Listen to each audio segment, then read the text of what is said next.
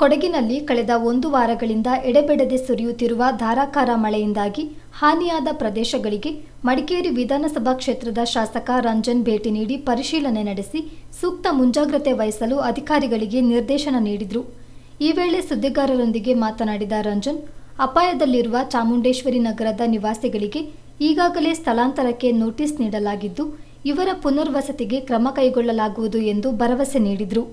ಕೆಲವರಿಗೆ ಪುನರ್ವಸತಿ ಕಲ್ಪಿಸಿದ್ದರೂ ಇಲ್ಲಿಯೇ ನೆಲೆಸಿರುವುದು ಗಮನಕ್ಕೆ ಬಂದಿದೆ. ಅವರನ್ನು ಖಾಲಿ ಮಾಡಿಸುವ ಕೆಲಸ ಮಾಡಲಾಗ್ತದೆ. ನಾನೂರು ಮನೆಗಳು ಇನ್ಫೋಸಿಸ್ನಿಂದ ನಿರ್ಮಾಣವಾಗ್ತಿದೆ.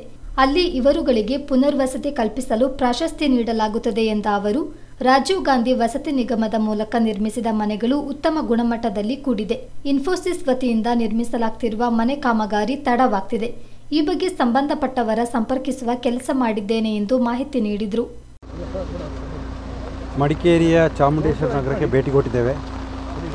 ಹಲವಾರು ಜರೆಗಳು ಜರ್ದಿದ್ದನ್ನು ನೋಡ್ತಾ ಇದ್ವಿ. ಕೆಲವು ಮನೆಗಳು ಅಪಾಯದ ಸ್ಥಿತಿಯಲ್ಲಿದೆ.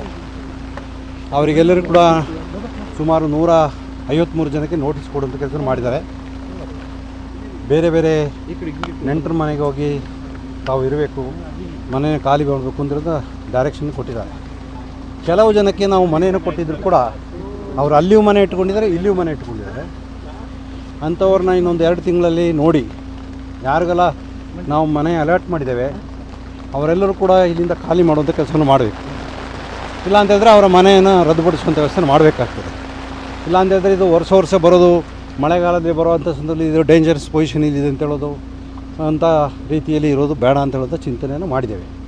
ಹಾಗಾಗಿ ಆದಷ್ಟು ಬೇಗನೆ ಅದಕ್ಕೆ ಕಾರ್ಯಗತ ಮಾಡೋ ಕೆಲಸವನ್ನು ಮಾಡ್ತೇವೆ. ನಾನ್ನೂರು ಮನೆಗಳು ಇನ್ಫೋಸಿಸಿಂದ ರೆಡಿ ಇದೆ. ಆ ಮನೆಗಳಲ್ಲಿ ಇಲ್ಲಿ ಡೇಂಜರಸ್ ಪೊಸಿಷನ್ ಇರುವವರಿಗೆಲ್ಲ ಮನೆಯನ್ನು ಕೊಡುವಂಥ ವ್ಯವಸ್ಥೆ ಮಾಡ್ತೇವೆ.